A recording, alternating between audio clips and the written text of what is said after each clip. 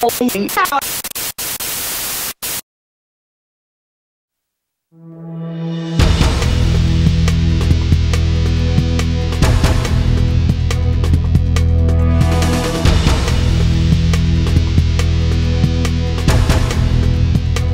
E vedete che lei ha bisogno di guardare per capire bene a che distanza si trova l'uomo, e studia il suo comportamento. Finché guarda solo con un occhio, un occhio guarda la fonte della pressione, l'altro studia una via di fuga poiché ciascun occhio ha una visione separata.